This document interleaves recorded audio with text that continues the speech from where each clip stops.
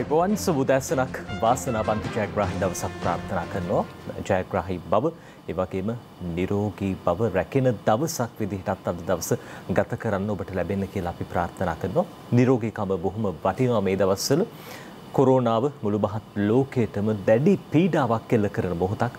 අපේ රටටත් එහෙමයි. ඊයේ දවසේ අපි දැක්කා කොරෝනාවෙන් කොරෝනාව ආසාදනය වුණු 1400 හැට හය දෙනෙකු අපේ රටෙන් හඳුනා ගත්තා. මේ වෙනකොට අපේ රටේ සමස්ත කොරුණ ආසාධිතයන් සංඛ්‍යාව එක් ලක්ෂ හාර දහස් නවසය පනස් තුනක් ඒ වගේම සිද්ධ වෙලා තියෙන මරණ ප්‍රමාණය හයසිය හැට එකක්. තත්වේ දරුණුයි අපි රටක් විදිහට ජනතාවක් විදිහට පරිස්සමෙන් ඉන්න ඕනේ. එවගේම රටේ ජනතාවගේ සෞඛ්‍ය ආරක්ෂාව වගේම රටේ ආරක්ෂාව ගැනත් අපි නිරන්තරයෙන් කතා බහ සිද්ධ කරනවා. අපි දැක්ක දැන් පාස්කු ප්‍රහාරයේ දෙවෙනි වර්ෂය ගත වෙන කාල සීමාව එනිසා බොහෝ දෙනෙක් ආරක්ෂාව ගැන නැවත නැවතත් සිතා බලන කාල සීමාවක් විදිහට මේ කාල සීමාව හඳුන්වන්න පුළුවන්. රටේ තොටේ තත්ත්වයේ මේ හැම දෙයක් ගැනම අපි අද දවසේ කතා කරන්න සූදානම් හත්වෙනි පැය තුලින් අපි මැදිරියට ආරාධනා කළේ විශේෂිත චරිතයකට අපි හඳුනා ගනිමු කවුරුන්ද කියන වග. උන්වහන්සේ රාවණා බලයේ සංවිධානයේ මහදේකම් ස්වාමින් වහන්සේ පූජ්‍ය ඉත්‍යකන්දේ සද්ධාසිස ස්වාමින් වහන්සේටයි. අපේ ගෞරවනීය নমස්කාර පූර්වක ආරාධනය අද දවසේ හත් දින පැයට උන් වහන්සේ වැඩම කළේ අපි ඔබ වහන්සේව নমස්කාර පූර්වක පිළිගන්නවා හත් දින පැයට.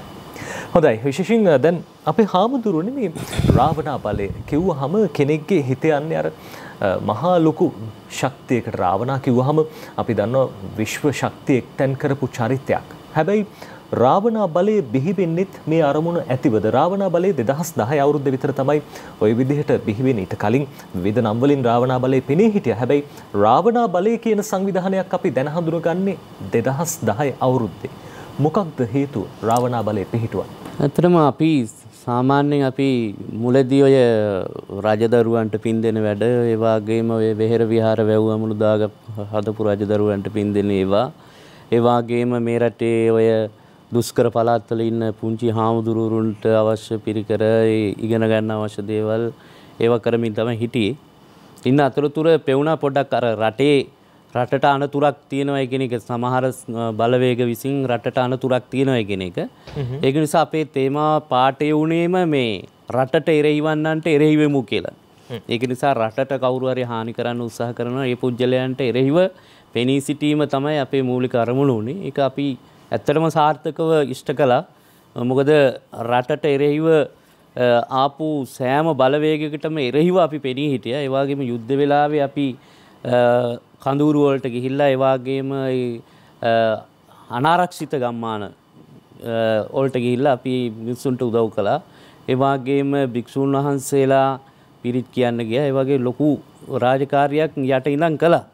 ඉතින් ඒක නිසා අපිට ඊට පස්සේ අර නිදහස් වුණු රට සෞභාග්‍ය කරා යන ගමනේදී සමහර මේ පිටරට එක එක ඔත්තුකරුවන්ගෙන් වෙන හානි ඒ වගේම සමහර සංවිධාන අටෝගෙන රජයට කරන හානි රටට කරන හානි ජාතියට කරන හානි වෙන වෙන කූට උපක්‍රම ඒ වගේම නොයෙක් මේ ජාතීන් අතර සිද්ධ මේ නොයෙක් මේ අසමගියන් නැති කරන්න කරන කුමන්ත්‍රණ ආදී දේවල් පිළිබඳව අපි හොයමින් ඒවට විරුද්ධව කටයුතු කළා ඉතින්. හොඳ අපේ හඳුරු කෙනෙක්ට හිතුනොත් කෙනෙක් කිව්වොත් එහෙම රාවණ බලය කියන්නේත් අන්තවාදී සංවිධානය කියලා ඔබ වහන්සේ පිළිතුරු දෙන්නේ කොහොමද? නෑ ඇත්තටම අන්තවාදීන්ට අපි එරෙහිව කටයුතු කළේ. දිගින් දිගටම අපි දැන් මූලධර්මවාදයට අන්තවාදයට එරෙහිව තමයි කටයුතු කළේ. පහුගිය ඒගොල්ලෝ අපේ වෙබ්සයිට් වලට ගියහම බලා ගන්න පුළුවන්. අපි ඒවට විරුද්ධව තමයි කටයුතු කළේ. අපි මොකද මම ඉගෙනගත්ත පාසලේ සිංහල දෙමළ සේරම හිටියා. මට එහා පැත්තේ බංකුවේ වාඩිලා හිටියේ මං ළඟ වාඩිලා හිටියේ දෙමළ මේ ළමින්. ඉතින් ඒක නිසා අපිට එහෙම ප්‍රශ්න තිබුණේ නැහැ. හැබැයි අන්තවාදී පිළිබඳ ප්‍රශ්නයක් අපිට තිබුණා. ඒ වගේම මූලධර්මවාදී පිළිබඳව ප්‍රශ්නයක් තිබුණා. මොකද සමහර ආගමික මූලධර්මවාදීන් විසින් වෙනත් ආගම් බලහත්කාරයෙන් බඳවා ගැනීම වලට එරෙහිව මහපාරේ සටන් කළා. ඔවුන්ව අල්ලගත්තා. අල්ලගෙන පොලිසිය වලට බාර දුන්නා. ඊට පස්සේ අපිට නොයෙක් මේ CID එකට ගිහිල්ලා කට උත්තර දෙන්න උනා. අපිව ප්‍රශ්න කරන්න පටන් ගත්තා ඒවා කරනකොට.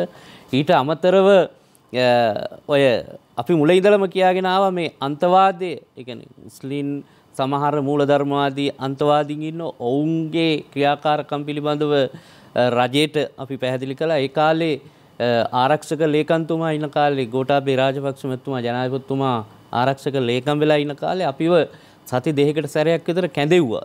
කැඳවලා අපෙන් ප්‍රශ්න ඇහුවා. ඒ වගේම ওই මුස්ලිම් අන්තවාදී කියන සමහර කල්ලිත් ගෙනහලා ඒගොල්ලන්ගේ මූණටම අපේ ප්‍රශ්න කතා කළා. ඔවුන්ගේ ප්‍රශ්නත් කතා කළා. එහෙම කතා කරලා ඒවා හඳුනා ගැනීමේ වැඩපිළිවෙලක් කළා.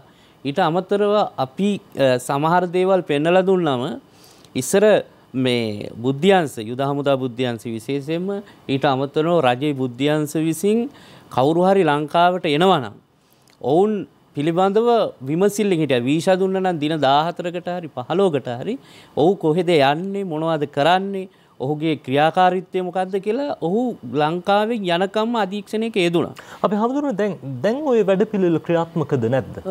ඇත්තටම දැනුත් මම කියන්නේ බුද්ධ්‍යංශ කඩා වැටලා තුණි. දැන් මේ රජයක් ආපු ගමන් බුද්ධ්‍යංශ නැවත අපි දන්නවා දැන් බුද්ධ්‍යංශ වෙනුවෙන් කතා කරන්න කියලා මමත් හිරේ හිටියනේ.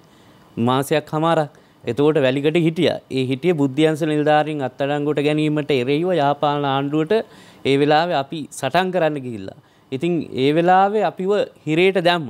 එතකොට බුද්ධ්‍යන්සේ හිටපු සේරොම මේ බ්‍රිගේඩිය සලේ වගේ අය ලොකු මෙහෙයක් කරපු අය විශාල පිරිසක් අත්තඩංගොට ඇරන් හිරගෙදර යම්ම. එතකොට ඒ යුද හමුදා බුද්ධියන්සි තමයි දෙවනි ප්‍රභාකරන්ගේ රැල්ල මේ දෙවනි කණ්ඩායම නතර කරන්න විශාල මෙහෙයක් කළේ. ඒක නිකන් අර සැටෝ කණ්ඩායමක් හැටියට ඉඳලා ඔවුන් විශාල පහරයක් කෙල්ල කරලා ඔවුන්ව නතර කළා. ඒ කණ්ඩායම සම්පූර්ණ මේගොල්ලෝ හිරේ දැම්මා. හිරේ දැම්මට පස්සේ බුද්ධියන්ස ක්‍රියාකාරීත්වය අඩු වුණා. එතකොට එක කණ්ඩායමකට පහර වදිනකොට අර රජයේ ඉන්න අනිත් බුද්ධියන්ස කලබල වෙනවා ඒගොල්ලන්ටත් මේ සිතීම තමයි වෙන්නේ කියලා. ඒ නිසා ඔය යහපාලන ආණ්ඩුව කාලෙම කළේ සම්පූර්ණයෙන් බුද්ධ්‍යංශ සම්පූර්ණයෙන් අඩපණ වෙච්ච එක. ඔබ වහන්සේ හිතන විදිහට ඔය බුද්ධ්‍යංශ අඩපණ වීමද පාස්කු ප්‍රහාරයට සැබෑ හේතුව නැත්තම් ඒ වකට ඉඳපු පාලකයන් මේ බුද්ධ්‍යංශ ගණන් ගන්න නැති තත්ත්වයට කටයුතු කරපු එකද මොකද්ද? ඇත්තටම බුද්ධ්‍යංශ අඩපණ වීම තමයි ඔය මේ පාල ඔය ප්‍රහාරයට සම්පූර්ණ වාක් කියන්න ඕන. මොකද බුද්ධ්‍යංශ දැනගෙන හිටියනම් බුද්ධ්‍යංශ වලට ඒ වගකීම හරියට කරන්න ඉඩ දුන්නා නම් ලෝකෙ කිසිම රටක පාලකයෙක් වෙනස් වුණු පමණින් බුද්ධ්‍යංශවලට දැන් CIA එක වෙනස් වෙන්නේ නැහනේ. කොච්චර මේ ඇමරිකන් ජනාධිපතිවරයා කවුරු ආවත් ඔවුන්ගේ මේ ආරක්ෂක අංශවලට අත තියන්න බෑ. ඒවා ඒ පෙන්ටගනිය කරන දේවල් ඒවා කිසි කෙනෙකුට අත තියන්න පුළුවන් කමක් නැහැ. ඒක ඒ ඒ විදිහට තමයි හැදිලා තියෙන්නේ. ඒ ජාලය එහෙම හැදිලා තියෙන්නේ. මොකද ඒක රට සම්බන්ධව තීන්දුව ගන්න තැන්නේ. ඒවට අත තියන්නේ. එහෙම මෝඩයෙක් කැරෙන්නේ කිසි පුද්ගලයකට පුළුවන් කමක් නැහැ රට සම්බන්ධව තීන්දුව තීරණ ගන්න ආරක්ෂාව සම්බන්ධව ක්‍රියා කරන පුද්ගලයන් එහෙට මෙහෙට පුටුවක් එහෙට මෙහෙට මාරු වෙන්න පුළුවන්. නමුත් මේ ඒ තීන්දුව මාරු වෙන්නේ නැහැ. ඉතින් ඒක නිසා මේක එහෙමනේ කන පිට ගැහුවා සම්පූර්ණයෙන්. උද්‍යංශ අවශ්‍ය නැහැ කියලා. ඔවුන් ත්‍රස්තවාදීන් හැටියට ඔවුන් වෙනම කණ්ඩායමක්. අද ඉතින් ඔය වැඩකට නැති දෙකයි පනයි දේශපාලනඥයෝ මරන්න ඉන්න කණ්ඩායමක් හැටියට තමයි බුද්ධියන්ස අර කල්ගිය දැම්මේ. එතකොට ඒගොල්ලන්ට එහෙම හානියක් වෙනකොට අර අනිත් බුද්ධ්‍යන්ස කලබල වෙනවනේ ඒගොල්ලන්ගේ ක්‍රියාකාරිත්වය ඔටෝමැටිකලි නවතිනවනි ඒ නැවතුනාට පස්සේ අර යංකිසි තර්ජනයට ලක් වෙලා හිටිය මූලධර්මවාදී පුද්ජලියෝ සහ කල්ලි කණ්ඩායන් අන්තවාදීන් ඔවුන්ගේ ක්‍රියාකාරිත්වය ඉතා ඉක්මනින් ගොඩට එනවා. ඔවුන් දන්න මේ කාලය තුළ අපිට යමක් කරගන්න පුළුවන් කියලා. ඒක නිසා මුරකාරයෙක් නැති වත්තකට ඕන තරම් මිනිස්සු නැති පාළුවත්තකට පැනලා අඩුම ගානේ මේ තියෙන කුරුම්බගෙඩිය හරි බීලා යනවා. ඒක තමයි සාමාන්‍ය සිරිත. ඉතින් ඒක නිසා මේ බුද්ධ්‍යංශ අඩපණවීම තුල අර බුද්ධ්‍යංශ නිල්ධාරීන් කඩා වැටීම තුල දැන් පිරිසක් අත්තරංගුවට ගන්නකොට පිරිසක් මානසිකව කඩා වැටෙනවා. ඒ මානසිකව කඩා වැටෙනවා ඔවුන්ට මේ ක්‍රියාකාරීත්වයෙන් අර පුජ්‍යලිය දිහා බලාගෙන ඉන්න වෙලාවක් නැහැ. ඔවුන් බලන්නේ ඔවුන් ඊළඟට ඔවුන්ද ඉලක්කය. ඒක නිසා එහෙම කඩා වැටීමේ ප්‍රතිඵලයක් තමයි මං හිතන්නේ මේ මේ ප්‍රහාරයට ප්‍රධාන හේතුව මොකද අන්තවාදීන්ට නිදහසේ හැසිරීමට අවශ්‍ය කරන වටපිටා හැදුණා. ඒ නිදහසේ හැසිරීමට ලැබුණු වටපිටාවත් එක්ක ඔවුන් බුද්ධ්‍යන්සෝල්ට වඩා ඉහලින් හිටිය ඒවාගේම ආරක්ෂකන්සෝල්ට වඩා ඉහලින් ඔවුන්ගේ ක්‍රියාකාරිත්‍ය වැඩි වුණා. හොඳ අප හමුදුරු මේ දැන් පාස්කු ප්‍රහාරය පිළිබඳ විමර්ශනය කරන ජනාධිපති කොමිෂන් සභාවේදී හෙළිවෙච්ච කරුණු අනුව අපි දන්නවා සමාජයේ බොහෝ දෙනෙකුත් දන්නවා ඉන්දිය බුද්ධ්‍යංශ කිහිප වරක් මේ පිළිබඳව දැනුවත් කළා තිබා අපේ බුද්ධ්‍යංශ වලට හැබැයි අපේ බුද්ධ්‍යංශ එවකට රටපාලනය කරපු නායකයාට රජයට මේ පිළිබඳව බල කළා. හැබැයි අවශ්‍ය පියවර තීන්දුව తీරන ගත්තේ නැහැ. අදටත් අපි දකිනවා ඒ හිටපු අමාත්‍යවරුන්ගේ සඳහන් කරපු දේවල් අර තාත්තා මට මේ දේ කිව්වා හැබැයි මං මේක එච්චර ගණන් ගත්තේ නැහැ මේ වගේ කාරණා අපි දැක්ක පහුගිය කාලේ කියවෙනවා. අපි නම් හීනයක් දැක්කත් අපේ අම්මට හරි කියනවා. ඉතින් ඒක නිසා මේ තාත්තා කියලා කිව්වේ නැහැ කිව්වා මේක ටිකක් අමුතු. කියන්නේ මොකද්ද හේතුව කියන්න දන්නේ නැහැ මේ පුජ්‍යලයා ආරක්ෂා වෙන්න ඕන. අනිත් ඒව මලාට කමන්නේ වගේ අදහසක් ඒ වෙලාව යාවත් දන්න එහෙම සිතුවිලි එකේ විනාඩි විනාඩි වෙනස් වෙනවනේ. හොඳ අපිට මොහොතක් දෙන්න අපි වෙලා බලමු අපේ හැමදෙරේ හොඳ අපි කතා කරමු. ඉතින් ඒක නිසා මේ සමහර වෙලාවට ඇත්තට මෙහෙම වක්කීමත් තිබුණ නෑනි කාටවත්. දැම් බුද්ධියන්ස දැන් ඕගොල්ලෝ ගිහිල්ල බලන්න මගේ වෙබ්සයිට්ඩෝල්ට රාවනා බලි. දෙදස් දහතුන දාහතරදි අපි ඒ කාලේ මහින්ද රාජපක්ෂ ජනායපොත්තුමාගේ ආණ්ඩුවේ සමහර නිලධාරීන් කරපු වැරදිවලට එරෙයිව මහපාරින්දලා ඒවා පැහැදිලි කළ දුන්න. මෙන්න මේක වෙන්න එපා මේක නතර කරගන්න එහෙම කියලා අපි කිව්වා. හැබැයි දෙදහස් පහළුවේ ඡන්ද වෙලාවේදී අපි කෙලින්ම කිව්වා. මේ නායකයා යංකිසියකින් එලවනවා නම් ඊට වඩා හොඳ පුද්ගලයෙක් පුටුවට ගෙනහල්ල එලවන්න ඕන හැබැයි ඊට වඩා දෙගුණයක් පල්ලැහින්න පුද්ගලයෙක් ගෙනහල්ලා මේ රට කරන්න බැහැ කියන එක අපි පැහැදිලිව කිව්වා. මගේ කතා තියෙනවා සමුළුවල කරපුවා. ඉතින් ඒවයි පැහැදිලිව අපි කිව්වා. අන්තිමට උනේ පාස්කු ප්‍රහාරය ඇති වුණා. හාමුදුරුවරු හිරේ දැම්මා. ආර්ථිකය කඩාගෙන වැටුණා. රට ආපස්සට ගියා. අවුරුදු 30ක් විතර පල්ලෙහාට ගියා. ඉතින් මේවා සේරම වෙලා අවසානයේදී වගකීමක් ගන්න පුද්ගලෙක් හිටියේ නෑනේ. අගමැතිවරය එක පැත්තක් ගන්නවා, ජනාධිපතිවරය එක පැත්තක් ගන්නවා, ඇමතිවරු එක දෙයක් කියනවා. පාස්කු ප්‍රහාරය ගැන කතා කරන්න ඇවිල්ලා ප්‍රවෘත්ති සාකච්ඡාවලදී hina වෙනවා මහා හයියෙන්. එතකොට ඒක දැන් ඉවරයි කියලා මෙහිම වගකීමක් නැති පුජ්‍යලියෝ අතට මේ ආණ්ඩුවක් බාර දීලා අන්තිමේට උන විපර්යාසය ඕක. එතකොට ඒ පුජ්‍යලයෝ ඒ සිද්ධිය වුණාට පස්සේ නොෙක් කතන්ද. දැන් මේ පාස්කු ප්‍රහාරය වුණේ දැන් වගේනි කතා කරන්න. දැන් පාස්කු ප්‍රහාරය ඒ කාලේ වෙලා නැහැ. ඒක වෙලා තියෙන වෙන රටක හරි කොහේ හරි දූපතක හරි වෙච්ච එකක්. ඒගොල්ලෝ කවුරුත් ඉඳලා නැහැ. අපි දැක්ක එවක රජයේ ඉඳපු ප්‍රබල අමාත්‍යවරු දැන් පාර්ලිමේන්තුවේදී හඬ නගනවා ආණ්ඩු පක්ෂයට චෝදනා කරනවා අවුරුදු දෙකක් ගිහිල්ලා තාමත් පාස්කු ප්‍රහාරයේ මහමොලකරුවෙක් අත්අඩංගුවට අරන් නැහැ කියලා.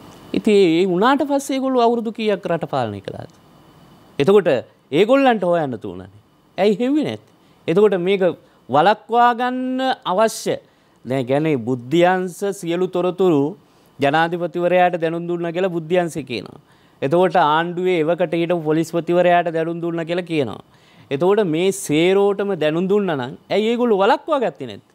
වලක්වා ගන්න තියෙන එකක් වලක්වා ගන්න නැතුව ඉඳලා දැන් ඒක උනාට පස්සේ මිනිස්සු 200ක් 300ක් මලාට පස්සේ තව 300ක් අබගාතේ වුණාට පස්සේ ඊට පස්සේ මේක මේ දැන් ආණ්ඩුවකට බයින එක දැන් මේ මරණ පරීක්ෂණය කරන එක නෙවෙයි වැඩේ. වලක්වා ගන්න තියෙද්දි ඒක නොකරපු එකේ ප්‍රශ්නයක් නේ තියෙන්නේ. කවුද ඒ වක්කීම ගන්නෙ?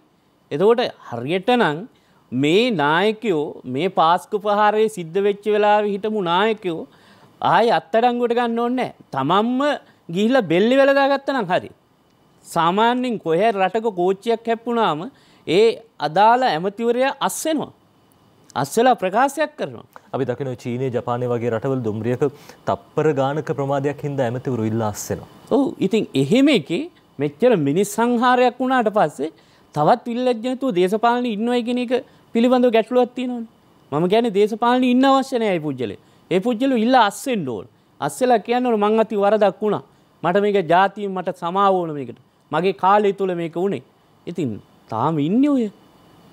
ඉතින් මොකද්ද මේ දේශපාලනේ? හොඳ අප හමුදුරන ඔබ වහන්සේ අර සඳහන් කරපු කාරණා බොහොම වටිනවා. අපි දැක්ක ආරම්භයේදී ඔබ වහන්සේ සඳහන් කරපු කාරණා අතර අර අන්තවාදී සම්බන්ධයෙන් ඔබ වහන්සේ ඇතුළු පිරිස අතීතයේ ඉඳන්ම කටයුතු කළා. විශේෂම අන්තවාදී සංවිධාන පිළිබඳව සමාජිකයන් පුද්ගලයන් අපේ හාමුදුරුවෝ වගේම අර විදේශ රටවලින් අපේ රටට කවුරු හරි ආවනම් බුද්ධ්‍යංශයේ දවස්වල අපි කියන්නේ මොනිටර් කළා කියලා ඒ වගේ දේවල් කළා ඔබ වහන්සේලාත් විවිධ තොරතුරු ලබා දෙන්නේ නැති මේ අන්තවාදී සම්බන්ධයෙන් ඇත්තටම ලබා දුන්නා. මම විතරක් නෙවෙයි සංවිධානකී ගණනාවක් තියෙන ලංකාවේ. ඉතින් හාමුදුරුවරු තරුණ හාමුදුරුවරු ඉතින් අර ඒ කාලේ එහෙම පොඩි නියාමනයක් තිබුණා. ඒ කියන්නේ ඒවා සම්බන්ධව හොයා බලන වැඩපිළිවෙලක් තිබුණා.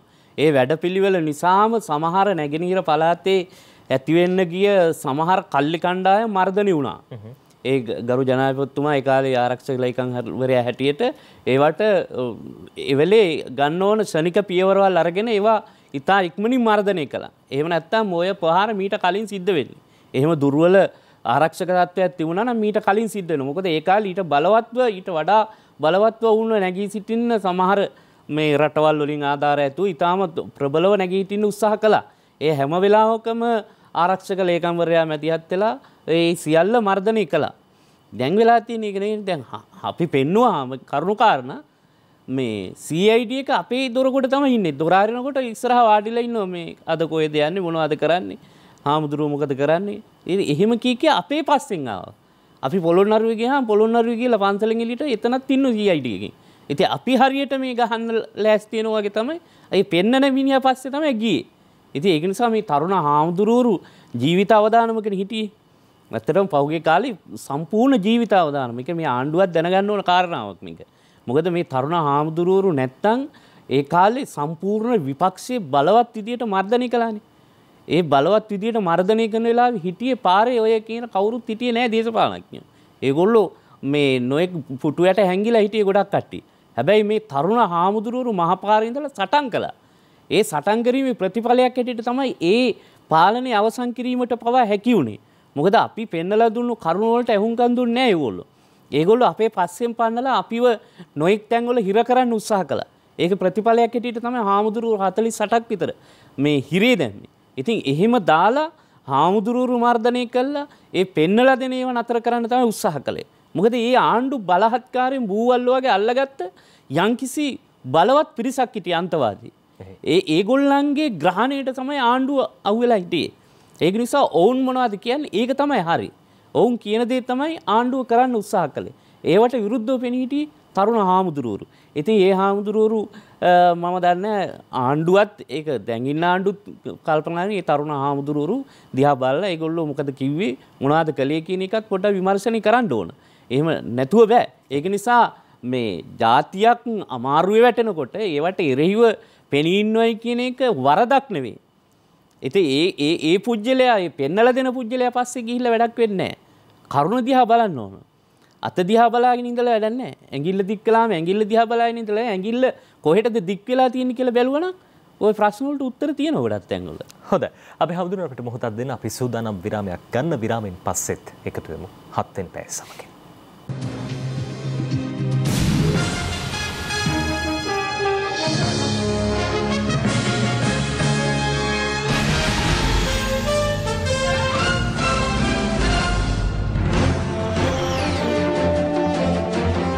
ඔබටත් හත්වනි පැය සමගින් අදහත්වනි පැයට එකතු වෙන්නේ රාවණ බලය සංවිධානයේ වනිකම් පූජ්‍ය ඉත්තෑකන්දේ සද්ධාතිස්ස ස්වාමින් වහන්සේ.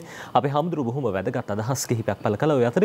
හමුදුරුවනේ දැන් පාස්කු ප්‍රහාරයේ විමර්ශන වාර්තාව නිකුත් වෙලා.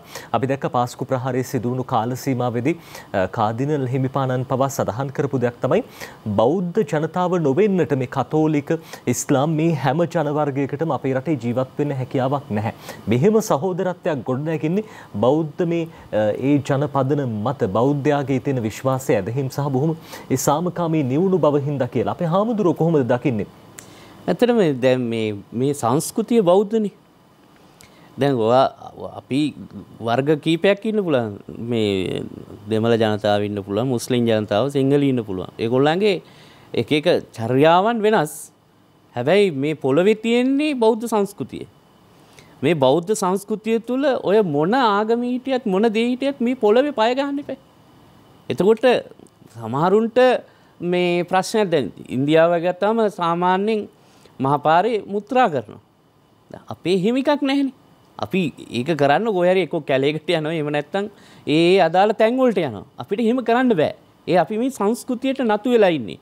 ඒක ඔයා මොන ජාතිකයෙක් වුණත් මම මොන ජාතිකයෙක් වුණත් එහෙම බෑ. මේ සංස්කෘතියට නතු වෙලා ඉන්නේ. එක නිසා කාදිනල්තුමා තමන්ගේ කාරණාවේදී පැහැදිලිව තේරුම් අරන් තියෙනවා බෞද්ධ ජනතාව නැත්තං මේ දැන්ඔය ඉන්න ඉස්ලාම්වත් එහෙම නැත්තං කතෝලික ජනතාවටවත් මේ වෙන හින්දු ජනතාවටවත් පිහිටක් නෑ. මොකද මේ මේ මහා සංස්කෘතිය යටතෙන අනි සංස්කෘතින් රැඳෙන්නේ. ඒක නිසා ඒ කුඩා කුඩා කණ්ඩායම් රැඳෙන්නේ මහා සංස්කෘතියේ තියෙන කාරුණික බව සහ කරුණාව, දයාව, මෛත්‍රිය. ඒක බුදුහාමුදුරුවෝ අපිට උගන්වපු දෙයක්නේ. ඒ කරුණාව, දයාව, මෛත්‍රියත් එක්ක තමයි අර අනිත් ජනතාවට ජීවත් වෙන්න පුළුවන්. අපි මිලේච්චි වුණා නම් කොහොමද අනිත් ජනතාව ජීවත් වෙන්නේ? එහෙනම් පල්ලි වලට පනිනවා, කපනවා, කොටනවා, ගහනවා, අසල්වැසිය විනාශ කරනවා. එහෙම එහෙම ආගමක් නෙවෙයිනේ මේ ආගම. ඒක නිසා බෞද්ධ සංස්කෘතියම මහා සංස්කෘතියක් හැටියට පැලවෙලා තියෙන්නේ. ඒ සංස්කෘතිය ඇතුලේ මහා ගසක් නම් මේ සංස්කෘතිය. ඒ සංස්කෘතිය ඇතුලේ අනිත් සංස්කෘතින් වලට ජීවත් වීමේ හැකියාව තියෙනවානේ. ඒක නිසා අපි කලබල වෙන්නේ මේ සිංහලයා බෞද්ධයා කලබල වෙලා මේ කැති පොළු අරගෙන ගිහිල්ලා අනිත් ජාතින් කපන කොටන තත්ත්වයට ඇවිල්ලා නැහෙනි. ඒක සමහර දේශමන් දැන් 83 කළු ජූලිය වගේ ඒවා දේශපාලනඥයෝ මෙහෙවපුවනේ. ඒවා අපි කරපුවා නෙවෙයි. ඒවේ ප්‍රතිඵල තමයි අවසානයේදී මේ යුද්ධ වලට යන්නේ. අවුරුදු 30ක විතර යුද්ධයකින් අපි බැට කෑවේ ඒකෙන්. ඒක නිසා අපි කරපුවා නෙවෙයි. මේ සංස්කෘතිය ඇතුලේ ජීවත් වෙන අපි කරපුවා නෙවෙයි. ඒක මංකොල්ල කන දේශපාලනඥයෝ කරපු වැඩ. ඒක නිසා ඒකේ වගකීම මේ සිංහල බෞද්ධ ජනතාවට වැටෙන්නේ ඒක ඒක වැටෙන්නේ දේශපාලනඥයෝ. එදිනෙදා පාලනය කරපු දේශපාලනඥයෝ අමන මෝඩ වැඩ කරලා මේ කරපු මේ අර සංහින්දියාව විනාශ කරපු වැඩක් ඒක. නමුත් මේ සංස්කෘතිය තුළ එහෙම දෙයක් නැහැ. මේ සංස්කෘතිය තුළ ඔය කියන ඕන ආගමක පුජ්‍යලයන්ට මේ රූක්ෂ ගහ මේ බෞද්ධ සංස්කෘතිය කියන රූක්ෂ ගහයට ජීවත් වෙන්න පුළුවන් හේවන තියෙනවා වැස්සට තෙමෙන්නේ අවුව වැටෙන්නේ කරදරයක් නැහැ. හොඳ අපි හමුදුරන් දැන් පාස්කු ප්‍රහාරය සිද්ධ වෙලා ඉවරයි. හැබැයි අහිංසක ජීවිත දෙසේ හැටකට ආසන්න ප්‍රමාණයක් අහිමි වුණා තවත් බොහෝ පිරිසකට සිය ගණනකට තුවාල සිද්ධ වුණා සදාකාලික අපි දකිනවා මේ අබ්බගාත තත්ත්වයට පත් වෙලා මේ බොහෝ දෙනෙක් පාස්කු ප්‍රහාරී වින්දිතයන් බවට පත් වුණා මවට පියාට තමන්ගේ දුව පුතා නැති වුණා. ඒ වගේම මේ දුවෙකුට පුතෙකුට තමන්ගේ අම්මා තාත්තා නැති වුණා. සමහර විට පවුල් පිටින් විනාශ වුණා. හැබැයි මේ අමිහිරි මතකයත් එක්ක දැන් සංහිඳියාව කියන මාතෘකාව කරලියට ඇවිල්ලා පාස්කු ප්‍රහාරයෙන් පස්සේ මේ වගකිව යුතු පිරිස් හොයාගෙන ඒ වගේම රටක් විදිහට සංහිඳියාවෙන් ගමන් කරන්න ඔබ වහන්සේ ඇතුළු පිරිස සංවිධානයක් විදිහට කොයි වගේ පියවරක් ගන්න බලාපොරොත්තු වෙන්නේ? ඇත්තට අපි මුල ඉඳලම කිව්වේ සංහිඳියාව තියෙන්නේ මූලධර්මවාදීන් ගාවත් එහෙම නැත්නම් අන්තවාදීන් එක්කවත් නෙවෙයි. අපිට තියෙන්නේ එක ඒ ජනතාවත් එක්කනේ. අපි මේ ජනතා අපි එක එක වර්ගවල කීපයක් ඉන්නවා අපි මේ රටේ. ඒ ඉන්න මහ ජනතාව කියලා අපි මහජාතිය හැටියට සිංහල ජාතිය හඳුන්වනවා අනිත් ජාතිනුත් මේ රටේ ඉන්න. අපි අතර එහෙම විශ්වාසයක් තියෙනවා. මේ ආණ්ඩු හැම එකක්ම ආණ්ඩු කරනකොට හිටියනේ මුස්ලිම් අය හිටියා, දෙමළ අය හිටියා, සිංහල අය මේ කට්ටිය ඒකරාශී වෙලානේ රටක් කළේ. හැබැයි මේකේ තියෙන ප්‍රශ්නේ තමයි අපි කැඩිච්චි තැන් දෙකක් හදනකොට තව කඩතුළු දහයක් හදන්න දේශපාලනඥ වෙදියත්වෙනවා. ඒකන දැන් මේ අන්තවාදය වපුරන්නේ දේශපාලනඥෝනේ. දැන් බලන්නකෝ මේ උතුරෙන්ගෙන දෙමළ සංධානයේ සමහර දේශපාලනඥෝ කතා කරන්නේම අන්තවාදයන්නේ. ඔවුන්ට ඒ සාමාන්‍ය දෙමළ ජනතාවට යුද්ධෙන් පස් වුමනාවනේ ගෙයක් දොරක් වතුර ටික ළමයිට ඉස්කෝලයක් ඔවුන්ට රැකියාවක් ඒ ඒ වගේ දේවල්නේ ඒවා ගැන එක දේශපාලනඥයොක්ව කතා කරලා නැහැ. ඔවුන් කිව්වේ වෙනම රාජ්‍යයක් ඕන, 13 බලවත් වෙන්න ඕන, ඊට එහා යන්න ඕන, ස්වන් පාලනයක් ඕන. ඒ වගේ දේවල් ඒගොල්ලෝ කතා කළේ. ඒගොල්ලන්ගේ ඔළුවේ තියෙන්නෙම ભેදේනේ. එතකොට අපි මෙහි හදන සංහිඳියාව අතනින් කඩතුළු කරනවානේ. එතකොට අපිට මේක පවත්වාගෙන යන්න බෑ. ඒක අන්බැලන්ස් වෙනවා. ඒක නිසා අපිට මේක පවත්වාගෙන යන්න නම් ඒ දේශපාලනඥයන්ගේ බ්‍රේන් වොෂ්යක් කරන්න ඕනේ. ඒගොල්ලොන්ගේ ඔළුව හදලා තමයි මේක කරන්න වෙන්නේ. මොකද ඔවුන් කරන්නේම දිනපතා. මේක හැමදාම කියනකොට නජිත් ඕනම කෙනෙක්ගේ ඔළුව වෙනස් වෙනවනේ. දැන් මේ උතුරේ ඉන්න ජනතාවගේ ඔළුව වෙනස් කරන්නේ මේගොල්ලෝනේ. උදේ හවා දකින්නේ මේගොල්ලෝ කුකුල්ලෝ දකින්න වගේ. ඉතින් මේගොල්ලෝ හැමදාම කරන්නේ නම් මේ සිංහල ජනතාව තමයි උඹලා නැති කලේ කියන தත්ත්වයට ගේනවනම් ඉතින් කොහොමද මේ මිනිසුත් එක්ක අපි සංහිඳියාව හදාගන්නේ? උතුරට හයිවේ එක හදලා උතුරට උතුරේ ඉන්න අහිංසක ළමයිට රැකියා ටික දීලා ඔවුන්ට ඉස්කෝල ටික හදලා දීලා ඔවුන්ට එළියට බහිනකොට මල්වත් අප්පේන Tamanගේ මේ ගේ වටේ මල් වැවිච්ච තැනක් දකින්න ලැබෙන විදියට ඒ ඒ පාරවල් ටික හදලා ගෙවල් ටික හදලා දුන්නාම ඔය ප්‍රශ්න නැහැ. ඒ ප්‍රශ්නේ තියෙන්නේ දේශපාලනඥයන්. ඔවුන්ට තමයි බලය අවශ්‍ය කරලා තියෙන්නේ. ඔවුන්ට මේ ජාතිවාදයේ තියෙන තාක්කල් විතර උන්ට පාර්ලිමේන්තුවට එන්න පුළුවන්. එතනට ආවොත් විතර ඒගොල්ලන්ගේ දූපුතුන් එංගලන්තය යවලා කැනඩා යවලා උගන්වන්න පුළුවන්. ඔවුන්ට කොළඹ ගෙවල් තියෙන. ඔවුන් ඉන්නේ කොළඹ. අල්ලපු වැටේ ඉන්නේ සිංහලයෝ. යල්ලපු වැටේ ඉන්නේ මුස්ලිම් අය. ඔවුන් හොඳට ජීවත් වෙනවා. හැබැයි සතියකට දවසක් ගිහිල්ලා අරේ ඉන්න අහිංසක දෙමළ මුස්ලිම් ජනතාවගේ ඔළුව කාලා එනවා. ඒකනි කරන්නේ. දැන් සහරාන් කෙනෙක් බිහිවෙන තැන්ට ඕක ගෙනාවේ අපි නෙවෙයිනි. ඒ දේශපාලනඥ. ඒ ජාතීන් වල දේශපාලනඥ. ඇයි සහරාන් කෙනෙක් ඔවුන් ඇති කරන්න උත්සාහ කරන්නේ? ඔවුන්ට එහෙම ભેදමින්න වෙලා තියුණොත් තමයි ඔවුන්ගේ මූලිකම ඔළුවේ තියෙන දේවල් හරියන්නේ. දැන් අපි ඔය අපි ඔය සමහර ඇමතිවරු මේ රටේ ඉන්න මුස්ලිම් අන්තවාදී ඇමතිවරු ඔවුන්ගේ දේපල කොච්චර තියෙනවද බලන්න. ඔවුන් එනකොට ඔවුන්ම කියනවනේ මල්ලක සිලිසිලි බෑග් එක ඇඳුම් ටික දාගෙන කොළඹට ආවේ කියලා. එහෙව් ආපු එක අක්කර 3000ක් 4000ක් හරියම්බ කරනකොට හොයන්න ඕනේ නේද මූ කොහෙන්ද මෙච්චර සල්ලි කියලා. කො මෙච්චර කල් ආණ්ඩුව වලින් හෙව්වද එහෙම? ඒ එහෙම හොයලා ඒ පුජ්‍යලයන්ගෙන් ඇයි කොහොමද උඹ මෙහිම හම්බ කළේ? උඹගේ මේ ඇමති පඩිය කීයද? එතකොට කොහෙන්ද ඉතුරු සල්ලි කොහොමද කියලා හොයන්න පුළුවන්. ඉතින් අපි ඒ කාලේ කිව්වනේ. කිව්වම අපි අපි පස්සේ නෙලෙව්වේ. ඒක නිසා මම කියන්නේ මේ දේශපාලනඥයෝ තම තමන්ගේ කාර්යය ඉෂ්ට කරනවා වෙනුවට ඔවුන් අන්තවාදයේ වැපිරීම සඳහා තමන්ගේ වාසියට අන්තවල්. දැන් ඒගොල්ලෝ බෝම්බ බැඳගෙන මැරෙනවා. මේගොල්ලෝ කොළඹට ඇවිල්ලා තට්ටු තුනේ හතරේ ගෙවල් හදාගෙන බලන්නකො පෞගේ දවස්වල අත්තඩංගුට ගත්ත හාදේ කොයිද හිටියේ කියලා. ඒ පින්තූරේ තියෙනවනේ. ඒ පින්තූර දිහා බැලුවම පේන්නේ නැද්ද මේගොල්ලෝ විඳින සැප? එතකොට ඒ සැප තුනල මේ ඔය නැගෙනහිර පළාත ඉන්න අහිංසක මුස්ලිම් ජනතාවට ඒ සැප තියෙනවද? නැහැ. ඒ ඒගොල්ලෝ විකුණන ඒගොල්ලන්ට අද්දවාදී පුරුදු කළා උඹලා බෝම්බයක් බැඳගෙන මැරියල්ලා අපි කොළඹ ඉන්න මේ මුන් එක්ක සංඉන්දියාව තියාගෙන එන ආණ්ඩුවකට මුක්කු ගහගෙන උන්ගෙන් හම්බ කරගෙන කාලා අපි ඉන්න උඹලා බෝම්බෙ බැඳගෙන මැරියන් කියලා ඔය කියන්නේ. ඒකම නෙවෙයිද උතුර කියන්නේ. උඹලා පුළුවන් නම් ආපහු LTT එක හදපන් අපි ඉන්නම් කොළඹ අපේ අපේ ළමයි ගිහිල්ලා එංගලන්ත ඉගෙන ගත්තා කියලා නෙමෙයි ඔය දේශපාලනඥයෝ කියන්නේ. ඉතින් ඒක නිසා මේක මේ தත්ත්වයේ තියෙනකන් සංහිතියාවක් හදන්න බෑනේ. අපි කියනකොට අපි දිහා බලන්නේ වෙන විදිහකට. අපි දිහා බලන්නේ අපි අන්තවාදීන් හැටියට. නමුත් අපි අන්තවාදී නෑ. අපි කියන්නේ උතුරේ ඉන්න අහිංසක දෙමළ මිනිස්සුන්ට අවශ්‍ය කරන දේවල් දෙන්න ඕන. පාරවල් ටික හැදෙන්න ඕන, ඉස්කෝල ටික හැදෙන්න ඕන, ළමයිට රැකියාව ලැබෙන්න ඕන. එතකොට ඒ මිනිස්සුන්ට එදා වේලා කාලා ජීවත් වෙන්න පුළුවන්.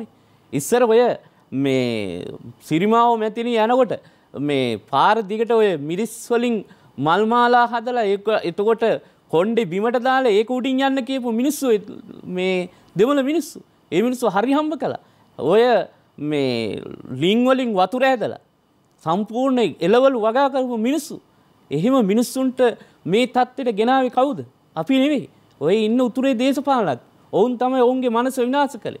ඒක නිසා අපි කියන්නේ මේ දේශපාලනඥයන්ට එක්කොත් දඬුවමක් තියෙන්න. ඔවුන්ගේ අසීමිත ධනය කොහෙන්ද ලැබුණ කියලා පරීක්ෂණ කරන්න ඕන. පරීක්ෂණ කළා ඔවුන්ට දඬුවම් කරන්න. මේ එන හැම ආණ්ඩුවම ඒකෙන් මිදෙන්න ගියොත් එහෙම කවදාවත් මේක සංවිධාව තියෙන තැනට ගේන්න හම්බ වෙන්නේ. හොඳ අපේ හැමදෙරුනේ වර්තමාන දේශපාලන තත්ත්වය අපි දකින විශේෂයෙන්ම දැන් පාස්කු ප්‍රහාරයේ සම්බන්ධයෙන් තොරතුරු ලබා ගන්න රිෂාඩ් බදුදීන් මන්ත්‍රීවරයා අත්අඩංගුවට කොට ගන්න ඔහුගේ සහෝදරයා. ඒ වගේම අපි දැක්ක හරින් ප්‍රනාන්දු පාර්ලිමේන්තු මන්ත්‍රීතුමන් අසනීප වෙලා රෝහල්ගත වෙනවා.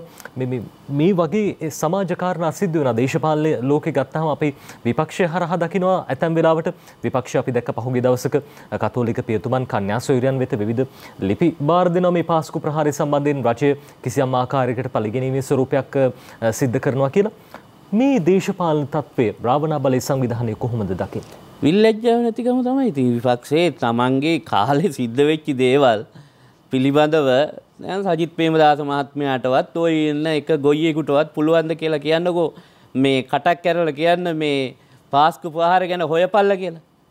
තමන්ගේ කාලේ සිද්ධ වෙච්ච එකට තමන් වල් කියන්න එපා. ඒකනේ මම මේ කියන්නේ. තමන් එතකොට කොහෙද හිටිය ඇමතිකන් දැරුවනි ඔය කැබිනට් මණ්ඩලේ හිටියනි. එතකොට ඇයි ගිහිල්ල ඉස්පිරිතාලවල නවතින්නේ. ඉස්පිරිතාලවල නවතින්න ඕන්නේ. තමන්ට කියපුදේ තමන් ගිල සයිටකට කියන්නකෝ. ඇයි බය වෙන්නේ. තමන්ට තාත්ත කිව්වනම් තාත්ත කියපුදේ සයිටකට කියන ඉවරයි ප්‍රශ්නේ. මොකට ඉස්පිතාලවල නවතින්. ඒකට බයවෙන්ඩ ඕන්නේන තමන්ට කියපුදේ කියනක විතර නිතියෙන්නේ. ඇයි මේගොල්ලෝ රඟපෑම් කරන්න කියනවා. මේක තමයි දේශපාලන මේ තුච්ච දේශපාලනයේ තියෙන මේ බලුකම. මොකද හේතුව තමන් ඕන දෙයක් කළා ඊට පස්සේ ඒක නිවැරදි කරගන්න අතන්ට යනවා. තමන් බලේ හිටිය කෙනෙක් දැන් මේ අමතක කරලා ඉන්නේ. දැන් ඊළඟට බලයට එන්න නෙමේ පොරකන්නේ. ඊළඟට බලයට ඇවිල්ලා මේ තමන් අර කලින් කරපු දේවල් ටික ඊට වඩා හොඳට කරගෙන යන්න නෙමේ උත්සාහ කරන්නේ. ඒක නිසා මේවා මේ පුජ්‍යලෝ මේවට කියන්නේ රංගපෑන්. ඔය කියන නාට්‍යවල මේ චිත්‍රපටිවල තියෙන රඟපෑ නෙවෙයි. මේ මොන්න මේව රඟපෑ. ගීල බොරුවට තමන්ගේ කාලි සිද්ධ වුන් නෑ වගේනේ හැසිරෙන්නේ. ඒක නිසා මේ විලිලැජ්ජාවත් තියෙනවා නම් රෙදියෙන් දන්න ඉන්නේ කරුණා කරලා තමන්ගේ කාලේ සිද්ධ වෙච්ච ඒවා පාපොච්චාරණය කරන්නකෝ. රටට වෙච්ච හානිය. රටේ බුද්ධ්‍යංශ වලට වෙච්ච හානිය. ශාසනයට වෙච්ච හානිය. යුද හමුදාවට වෙච්ච හානිය. මේ රටේ මේ දේශීයත්වයට සංස්කෘතියට වෙච්ච හානිය පිළිබඳව තමන් පිළිගන්නකෝ. ඒක තමන්ගේ නායකයාට තේ හරි තමන් හරි යටතේ මේක සිද්ධ වුණායි කියලා පිළිගන්න එපා. ඉතින් පාස්කු පහර වෙනකොට ඔය කියන විපක්ෂ නායකතුමා හිටියේ නැද්ද? ඔය කියන ඒ ආණ්ඩුව කාලේ හිටපු ඔය ඉන්න ගොයු කවුරුත් හිටියේ නැද්ද? හැංගිලා හිටියේ. හිටියනේ. ඒ වෙලාවේ කියන්න තුනනේ මේ සිරිසේන ජනාධිපතිතුමාටත් මේ හිටපු රනිල් වික්‍රමසිංහටත් මොකද්ද මේ කරන්නේ? මේ සතියක් දෙකක් ඇතුළේ මේක හොයලා මේ පුජ්‍යලයන්ට දඬුවම් දෙන්න කියලා. ඉතින් අදත් ඒගොල්ලෝ අත්අඩංගුවට ගන්නකොට ඒගොල්ලෝ වෙනුවෙන් පිණි ඉන්නේ. දේශපාලන පලි ගැනීමද රිෂාඩ් බදුතින් අත්අඩංගුවට ගැනීම. දේශපාලන පලි ගැනීම ඒකට අවශ්‍ය කරන කරුණු කාරණා තියෙන නිසා. රිෂාඩ් බදුද්දීන් විතරක් ගන්නකොට එහෙනම් මාවනැල්ලට ගිහිල්ලා මුස්ලිම් තරුණයෝ දෙන්නෙක් අත්අඩංගුවට ගන්නකොට TID එකකින් ඒක ප්‍රශ්නයක් නැද්ද? ඒක දේශපාලනයට වැටෙන්නේ නැද්ද එහෙනම්? එතකොට රිෂාඩ් බදුද්දීන් විතරද වැටෙන්නේ? ඒක නිසා මේ බලපුලුවන්කාරකමට මේ යටත් වෙලා තියෙන්නේ. මේ සල්ලි වලටනේ යටත් වෙලා තියෙන්නේ. මේ දේශපාලන අධිකාරී තමන්ගේ ඊළඟ පිම්ම පනින්න මෙයා නැතුණු බෑ කියන තැන්ටන මේ වැටලා තියෙන්නේ. ඒක නිසා මේ රට මේ මේ පුජ්‍යලුත් එක හදන්න බෑ. මේ මේ මේ දේශපාලන කුණුකොට මේ දිගින් දිගට මේ විදිහට යනවා නම් හදන්න බෑ. දැන්වත් පාපොච්චාරණයක් කළා නිවැරදි වෙන්න ඕන. නේ තමන් ඕනෑම පුජ්‍යලෙක්ට මේ එල්ලුම් ගහට ගියා මේ මිනිහා පාපොච්චාරණයක් කරනවා ඔව් මම මැරුවා කියලා. මේක එහෙම කියන්නේ නෑනේ. තමන්ගේ කාලේ උන් නෑ වගේනේ හැසිරෙන්නේ.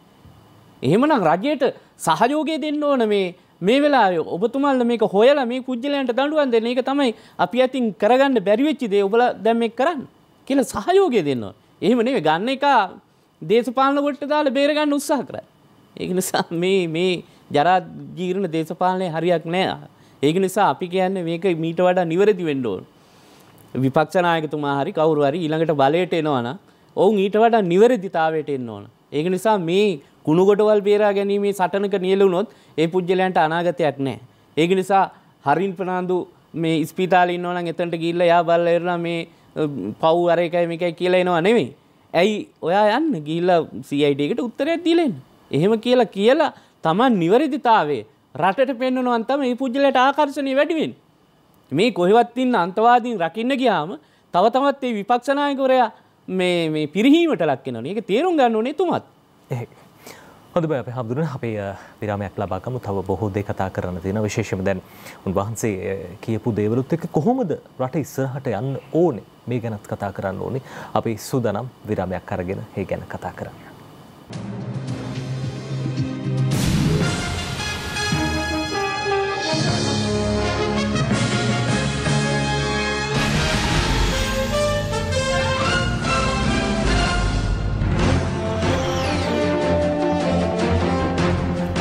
රවණ බලය සංවිධානයේ මහලේකම් පූච්චීතයකන්දේ සද්ධාතිස්ස ස්වාමීන් වහන්සේ. අදවසේ හත්වනි පෑ මැදිරියට වැඩම වදාලේ අපි අපේ හාමුදුරුත් එක බොහෝදේ කතා කළ. හාමුදුරුවනේ රවණා බලය මොනවද යෝජනා කරන දැන් ඔබ වහන්සේ සඳහන් කරපු දේශපාලනයේ තියෙන අඩු ලුහුඬුකම් එක්ක ඉස්සරහට රටක් විදිහට අපි ගමන් කරනකොට කොයි වගේ පැත්තකටද යන්න ඕනේ? නෑ ඇත්තටම දැන් අපි පැහැදිලිවම කිව්වා ගිය ආණ්ඩුවට එරෙහිව යහපාලන ආණ්ඩුවට එරෙහිව අපි පාරේ හිටි වෙන දෙයකට නෙවෙයි. ඒ ආණ්ඩුවේ තියෙන අක්‍රමිතතා සිද්ධ වෙන නිසා. ඒක අපිට බලාගෙන ඉන්න බැරි නිසා. මොකද මේ මේ රට ඓතිහාසික රටක්නේ. රජවරු 200කට යා රජකම් කළ වැව් 33000ක් තියෙන රටක් මේක. අපි මේ හාල් පිටරටින් ගෙනල්ලා කෑවට. එතකොට හැම මහ වැවකටම කුඩා වැව් පහක් විතර තුනක්. මහ වැව පිරීලා ඉතිරිලා ගියාම කුඩා වැව් වලින් ඒවා පිරීලා ඒවෙන් තමයි අපි ගොවිතැන් කරලා ජීවත් වුනේ. සීගිරිය හදපු සීගිරි කාශ්‍යප හිටපු රට මේක. එතකොට මේ අවුරුදු 50කට එහා රජකම් කරපු 6 වෙනි පරාක්‍රම බාහුල වගේ ශ්‍රේෂ්ඨ රජවරු හිටපු රටක් මේක. ඉතින් මේක මේ 2.50යි රටක් නෙවෙයි. ඒක නිසා අපි තේරුම් ගන්න ඕන ඓතිහාසිකත්වයත් එක්ක. ඉතින් ඒක තේරුම් අරන් තමයි මේක ඉස්සරහට යන්න වෙන්නේ. එතකොට දැන් අපි මේ රාජ්‍ය තන්ත්‍රය ගත්තත් අපි සමහර තැන්වල වැටිලා ඉන්නේ. ඒ වැටිච්ච ඒවෙන් ගොඩ එන්න ජනාධිපතිවරයට අගමැතිවරයටයි බැලලා කවදාවත් වෙන්නේ ඒක ඒ පුජ්‍යලයාගේ වගකීම ඉෂ්ට කරන්න ඕන. ඒ වගකීමේ මිදිලා ඉන්න ගමන් ඇඟිල්ල දික් කළ වැඩක් නැහැ. ඒ ඒ තමන්ගේ රාජකාරී කරන්න එපා. දැන් කොරෝනා තත්ත්වය තියුණානේ. දැන් කොරෝන තිවුණ දැන් අවුරුද්ධට කලින් දැන් ඇත්තටම කොරෝන කියන තත්ත්වය ආවට පස්සේ චීනේ අපි මෙහි ඒකට වැඩ පිළිවෙලක් හැදුවනි ඒකට වෙනම කල්ලි කණ්ඩායන් හැදවා නිලධාරීන් පත් කලා ඒකට වෙනම මේ සංවිධානාත්මකව කොහොමද මේ කරන්න කෙළ බැලුව. ඇමතිවරුත් ඉන්න තුන් හතර දෙනෙක් සෞඛ්‍ය පැත්තට. ඉතින් මේ සේරම තිීල ජනාධිපතිවරය ඇය කරන්න ඕන රාජකාරි කරලා තියෙනවනේ. එතකොට අවුරුද්ධට කලින් සංචරණ සීමා දාලා යංකිසියක මේක පාලනය කරන්න ඕන කියලා හිතෙන්න ඕන ජනායපත්තුමාට නෙවෙයි. ඒක පෙන්වන්න විශේෂඥයෝ ඉන්නවනේ. ඒ හා සම්බන්ධ විශේෂඥයෝ ඉන්න. ඒගොල්ලෝ ගිහිල්ලා එපා ජනායපත්තුමාට යෝජනා කරන්න ජනායපත්තුමා මේ අවුරුද්දට මේක නිදහසේ අතෑරියොත් එහෙම මහා විශාල පිරිසක් පාරට ඇවිල්ලා මේක නැති ප්‍රශ්නයක් ඇති වෙනවා. ඒක නිසා අපි සංචරණ සීමා දාමුද කියලා අහන්න ඕනේ ජනාධිපතිතුමාගෙන් මේ කියන නිලධාරින්නේ. ජනාධිපතිතුමා නෙවෙයිනේ. ජනාධිපතිතුමා ඒ හා සම්බන්ධ විශේෂඥ නෙවෙයිනේ. ඒක නිසා එතුමා විශේෂඥ යුද්ධෙට. ඉතින් ඒ වෙලාවේ යුද්ධ ඉවර කළානේ එතුමා. ඉතින් ඒ වගේම පරිපාලන කටයුතු කරගෙන යනවා. ඒකට අදාළ පුජ්‍යලු පත් කරගෙන තියෙන. ඒ පුජ්‍යලු වෙපේ මේක යෝජනා කරන්නේ. නමුත් යෝජනා කළේ නෑනේ. ඒක නිසා මේ රටෙන් භාගයක් පමුණුවට ආවනේ. පමුණුවට ඇවිල්ලා ඊට පස්සේ දැන් මුළු රටේම මේ කොළඹ ඉන්න පිරිස් රට හැමතැනම ගිහිල්ලා දැන් මේක මේ විවසනයක් බවට පත් වුණා. ඉතින් ඒ තත්ත්වයට පත් වෙනකන් නිලධාරි කණ්ඩායම කියන ඒගොල්ලන්ට පහසුකම් දීලා තියෙනවා ඒගොල්ලන්ට ගොඩනැගිලි දීලා තියෙනවා යාන வாහන දීලා තියෙනවා ඒගොල්ලෝ කරන්න ඕන වැඩක් නේ ඉතින් ඒකට ජනාධිපතිතුමාට අගමැතිතුමාට බැන ඉඳලා වැඩක් වෙන්නේ නැහැ. ඒක නිසා හැම ශේත්‍රෙම කඩා වැටෙන්න හේතුව සමහර පුජ්‍යලයෝ තමන්ගේ වගකීම ඉෂ්ට කරන්නේ සමහර පුජ්‍යලෝ ඉක්මවා ගිය මේ බලයක් පාවිච්චි කරනවා නමුත් වගකීම ඉෂ්ට වෙන්නේ දැන් සමහර ඇමතුරු මැසීලි නගනවා අපිත් එක්ක. හාමුදුරනේ අහවල් ලේකම්බරයත් එක්ක වැඩ කරන්න බෑ. අහවල් පුද්ගලයත් එක්ක බෑ. ඒ පුද්ගලයා මේ ජනායපොත්තුමා මේ වදන්නේ. ඉතින් සමහර ලේකම්වරු ජනායපොත්තුමාගේ බලය අරගෙන වැඩ කරනවා. ඒ පුද්ගලයෝ මේ දන්න මේ ජනායපොත්තුමා දන්න මේ පුද්ගලයා කොහොමද මොකොද එතන ගිල්ල කියන මේ ජනායපොත්තුමා කිව්ව කියලන. එහෙම ජනපත්තුමා කියන පුද්ගලයකුට ඇමතිවරයට ඉහලින් ගිල්ල ඇමතියා ඕන්න එහෙම කියලා එහෙම කියන්නේ ජනපත්තුම. නමුත් ඒ හැසිරෙන්නේ එහෙම. එහෙම හැසිරලා අර පුද්ගලය අසරණ කරනවා. ඊට පස්සේ දේශපාලන ශේෂත්‍රනු පැත්තකින් කඩා වැටෙනවා. එතකට ඒකුල්ලන්ටත් එපාවෙනවා. ඒක නිසා මේවා පිළිබඳව විමර්ශනයක යෙදෙන්ඩ ඕන. එහෙම නැත්තං මේ රට මේ ඉස්සරහට ගෙනියන්න අමාරු. හොඳ අප හවදුන මෙම අප අසල්ල සිරට ඉන්දියාව අපි දකිනවා දැන් අර අතීතයේ ඉතිහාසය අපි අහලා තිනවා විශාලා මහනුවර තුන්බිය දුරු කළා කියලා බුදුහාමුදුරුවන් බුදුහාමුදුරුව වැඩ හිඳපු කාලේ. හැබැයි දැන් අපි මිහිපිට විශාලා මහනුවරක් දකිනවා ඉන්දියාව ඇතිලා තියෙන තත්ත්වය බොහොම කේද ජනකයි ශෝචනීයයි. මේ වගේ තත්ත්වයක් අපේ රටේ ඇති නොවෙන්න මිනිස්සු විදියට සමාජ විදියට අපි මොනවද කරන්නේ? ඇත්තටම අපේ වගකීමක්නේ. දැන් අපේ වත්තට හොරු පනිනවා නම් වැට ගහලා රේම කළා. ඉතින් පිළිවෙලට හදාගන්න දොරවල් වලට අගුල් හල්තෙන් අයි කරලා එහෙම නැත්නම් අල්ලපු වැටට අසල් ගෙයක සොරකම් ගිය දවසක කුහුල් සිතින් ඉන්නේ තම ගේ රැක කියලා ඔය ලෝවැඩ සංග්‍රහය තියෙනවනේ. ඒති ගැන අල්ලපු ගෙදෙට්ට හොරු පැන්නම ඊළඟ දවසේ ඊළඟ ගෙදෙට්ට පයින් නෑ සාමාන්‍ය හොරු. ඉතින් දන්නවනේ කන්න වෙනවා කියලා. ඉතින් නමුත් ඒ පුජ්‍යලයා අල්ලපු ගෙදර මිනිස්සයා කැත්තක් එහෙම තියාගෙන නිදි වර්ජිතව ඉන්නවනේ. ආරක්ෂාවෙන්. ඉතින් මිනිස්සුන්ට පේනවා නම් අල්ලපු ගෙදර මිනිහා මේ මැරෙනව කොරෝනා හැදිලා කියලා තමන් ආරක්ෂා වෙන්න ඕනේ නැද්ද? තමන් ආරක්ෂා වෙන්න ඕනේ. දැන් ආරක්ෂාව ගැන අබමල් රේණුවක අදහසක් මිනිස්සුන්ට නැහැනේ. නිකටනේ දාන්නේ මේ මේ අර මාක්ෂ එක මුකාවරණය දානේ නිකටට ඒක ඒක නිකං ආභරණයක් කරගෙන තියෙන් චේන් එකක් වෙනුවට පාවිච්චි කරන්නේ මේ මුකාවරණය ඉති ඒක නිසා තමන්ගේ දරුවා ඇදගෙන යනවන මුකාවරණයක් දාන්න නැතු එහෙම එක්ක යනවන ඒ අම්ම ඒ පක්කින් බාරගන්න එප ඒක රජයකට මැල්ල වැඩක් නෑ. තමන්ට රෝගී අවස්ථාවක් එනවා කියලා පෙනි පෙනි තමන්ට ඒක දැනෙනවන තමන් ආරක්ෂා වෙන්න දැනගන්නපේ. නේද? ඒක තවත් පුද්ගලෙක් අතේ නෙවෙයි තියෙන්නේ. ඒ ආරක්ෂා කරන දැන් ආරක්ෂක හමුදාවට පුළුවන් සතුරෙක්ගෙන් වෙන හානියක් වෙන වෙන ප්‍රශ්න මේව කරන්න. ඒක නිසා විශාලා මහනුවර පේනවා අපිට. දැන් සමහරු හිතන්න ඇතින බුදුහාමුදුරුවෝ රතන සූත්‍රය කියලා පිරිත් පැන් ආනන්ද හාමුදුරන්ට දුන්නම මේ ඉහින්න මේ විශාලා මහනුවරට කියලා කියනකොට සමහරු හිතන්න පුළුවන් මේ දම් බණදාමවල බොරු තියෙන්නේ ඕව කොහෙද වෙන්න කියන දෙයක්. දැන් එහෙම වෙලා නැද්ද? මහපාරේ මිනිස්සු මැරිලා නැද්ද? මිනි පුච්චන්න තැන් නැතුව මිනිස්සු අඬ අඬ ඉන්නවා. තමන්ගේ ඔක්සිජන් නැතුව ඉන්න. ඉතින් දැන් අද විශාලා මානුවරක් නෙවිද. දවසකට තුන්දහ ආරදහ මැරණකොට. එතු තුන් ලක්ෂ ගානක් මේ පොසිටු වෙලා ඉන්නකොට ඒ පුද්ගලයන්ට රෝහල් කොහිද තියෙන දෙයන තුන් ලක්ෂ ගානකට දෙ. ඉති ඒක නිසා තමන් ආරක්ෂා වෙන්ඩ ඕන ඒකයි මංකිව අසල්ගේක හොරකමක් වුණාම අපි ආරක්ෂා වෙනවා වගේම අල්ලපු වැටේ ඉන්න රට ව්‍යසනයකට පත් වෙලා ඉන්න වෙලාවේ Taman දැනගන්න ඕනේ ඒක ආරක්ෂා වෙන්න. දැන් හැදිච්ච මිනිහා කියන්නේ නැහැ නේද වෙලා තියෙන්නේ. ඕක ඕක මේ මානසික ලෙඩක් ඕක. ඒ කියන්නේ හෙම්බිරිස්සාව හැදිච්ච එක අල්ලපු එකට බෝ කරන්න try එක. ඉතින් ඒ එතකොට තව එකෙක් ඉන්නවා මගේ ගනේ. එහෙමනේ හිතන්නේ. හෘදයාබාධයක් තියෙන පුද්ගලෙක් තව හෘදයාබාධයක් තියෙන පුද්ගලෙක් එක්ක චැට් එකක් දාගෙන ඉන්නනේ කැමති. ඔයාටත් තියෙනවද කියලා එහෙමනේ. එතකොට පොඩි මානසික සුවයක් ලැබෙනවා. නමුත් මේ හැදිච්ච මිනිහා කියන්නේ නැතුව එහෙම ඇවිදිනවා. දැන් මේ ඇන්ටිජන් පරීක්ෂණයක් කරන්න බාර දීලා PCR එකක් කරන්න දීලා ඒ මිනිහා ඇවිදිනවා මුළු රටේම. එහෙම නෙවෙයි ඒකේ ප්‍රතිඵලය එනකන් ඉන්නේ පැගෙදර. ආරක්ෂා වෙලා. ඉතින් ඒක රජයකට කරන්න පුළුවන් දෙයක් නෙවෙයි. ඒක නිසා තමන්ගේ වගකීම තමන් ඉෂ්ට කරනවා නම් ඔය හැම පැත්තක්ම කවරනවා. පැහැදිලි. හොඳයි එහෙමනම් බෙහෙවින්ම ස්තුතිවන්ත වෙනවා අපේ নমස්කාර පූර්වක ස්තුතියක් දවසේ 7 වෙනි පැය මැදිරියට වැඩම වදාළේ රාවණා බලයේ සංවිධානයේ මහලේකම් පූජ්‍ය තැකන්දේ සද්ධාතිස්ස ස්වාමීන් වහන්සේ වහන්සේට නැවත නැවතත් අපි ස්තුතිවන්ත වෙනවා. බොහොම වැදගත් අදහස් රසක් පළ වුණා.